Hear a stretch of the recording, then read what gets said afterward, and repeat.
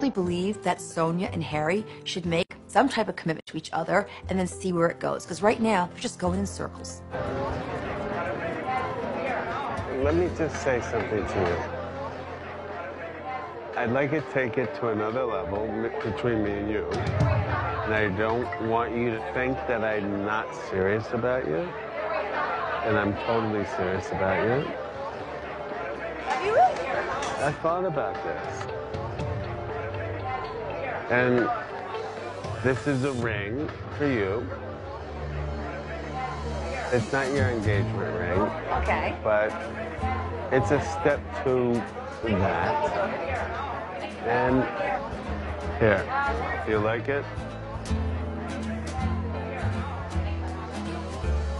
I love it.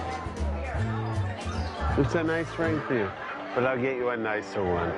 This is kick in the ass, just a ring to tell you how much I love and care for you.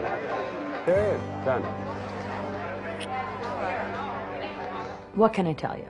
No one knows me better than Harry. He's charismatic. He cracks that grin of his. He's wearing his cute velvet jacket. I have to admit, the possibilities are endless. He knows me. He gets me. Maybe it's just meant to be. Are we gonna tell anybody? No. Ruin it. People are jealous.